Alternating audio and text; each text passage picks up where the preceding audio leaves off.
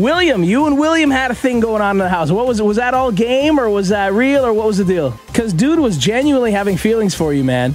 Uh, it a little bit of both. We did have genuine feelings, and I didn't let it go much farther than that because I came back for business, right? I wanted to win. That kid is so funny, so charismatic, so attractive, and I mean, we're really close. We're good right now, and it really helped my game. William saved me with that secret power veto. I wouldn't have made it farther if it wasn't for my relationship with him, so I'm very thankful to him.